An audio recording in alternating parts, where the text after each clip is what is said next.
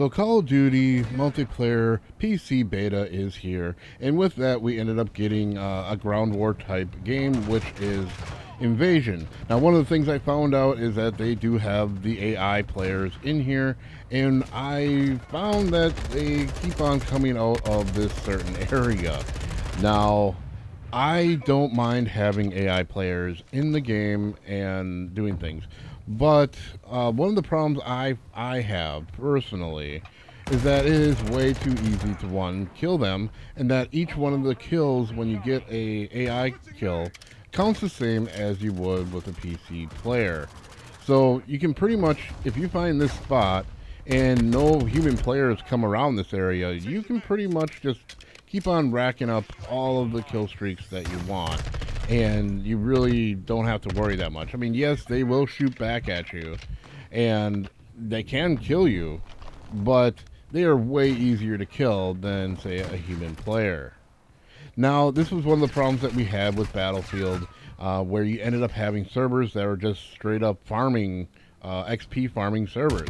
And it just ruins the game because you don't know what someone's actual KD is going to be if they're getting all their KD from uh, just NPCs, basically. Now, don't get me wrong, I'm not totally against having NPCs in the game.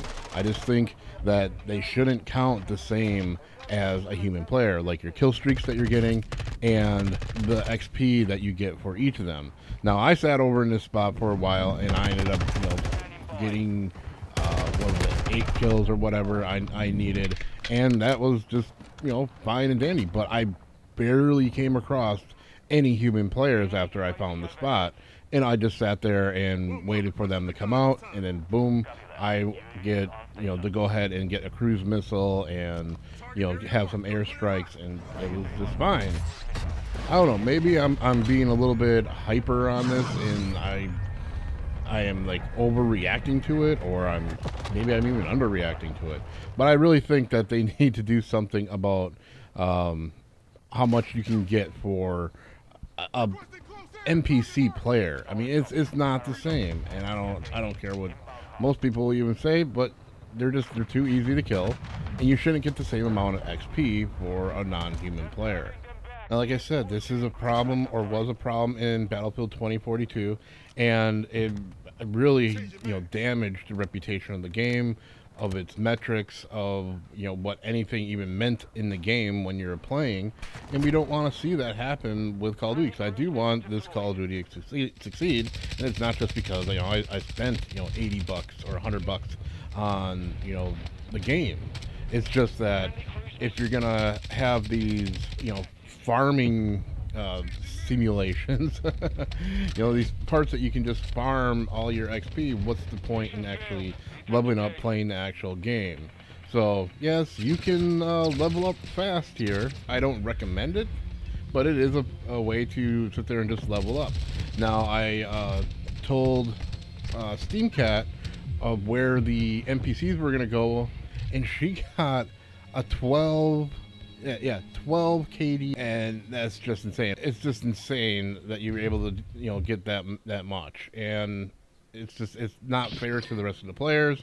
It's not a way to progress in the game. Anyway, I just wanted to bring this up uh, in a quick video today because I mean you can use it if you want. Uh, I would say you know use it. Hopefully they will fix it if it's getting exploited. So that's kind of why I do, do this video to hopefully grab some attention because even if you report it, uh, there's not much of a chance that anyone's going to even uh, hear it or read about it. And, you know, that's why we put out videos like this to say, hey, they need to fix this because pretty much anybody that wants to can just go over here and get as many kills as they want, uh, increase their, their, their KD, and they can just do whatever.